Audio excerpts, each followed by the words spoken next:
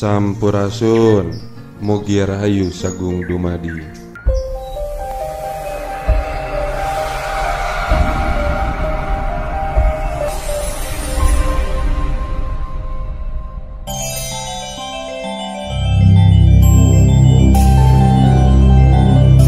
Palmistry seperti layaknya astrologi di dalam perbintangan adalah salah satu metode yang dilengkapi referensi tertentu untuk membaca nasib berdasarkan garis tangan.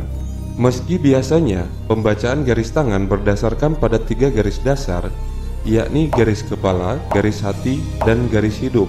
Ada tanda-tanda lain yang bisa diperhatikan di tangan. Tanda-tanda halus itu juga dapat memberikan Anda gambaran mendalam mengenai kepribadian, masa depan, dan jalan hidup Anda. Tanda-tanda itu berarti hal yang berbeda berdasarkan di mana letaknya di telapak tangan Anda. Namun, ada pula yang sulit dilihat daripada orang lain.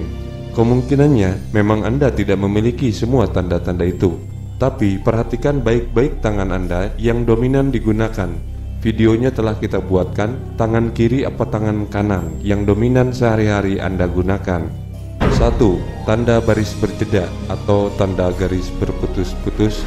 Jika Anda melihat tiga baris utama di tangan Anda dan yang memiliki garis jeda atau garis putus, bersiaplah untuk perubahan besar. Bergantung pada arah, itu berarti hal yang berbeda. Namun tak peduli di mana letaknya, ini berarti sesuatu yang cukup besar akan berubah dalam hidup Anda.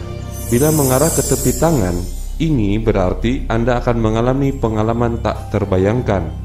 Sebaliknya, bila mengarah ke pusat telapak tangan, berarti kehidupan sehari-hari Anda akan berubah. Silahkan Anda amati tangan Anda dan anggap saja ini adalah sebuah hiburan.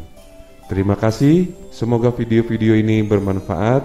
Hatur nuhun, terima kasih yang sudah subscribe.